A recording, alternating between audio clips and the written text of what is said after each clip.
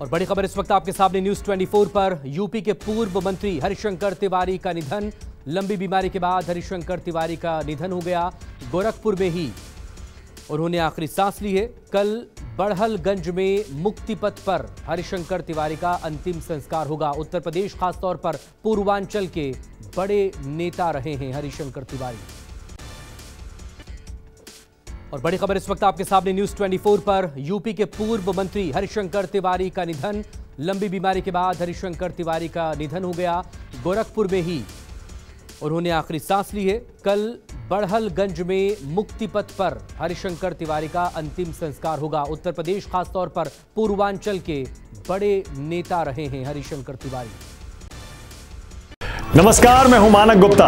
अगर आपको हमारा ये वीडियो पसंद आया हो तो इसे लाइक और शेयर ज़रूर करें। और हाँ, हमें सब्सक्राइब और फॉलो करना ना भूलें, ताकि आप देश और दुनिया की कोई खबर मिस ना करें। तो जुड़े रहिए हमारे साथ और देखते रहिए न्यूज़ 24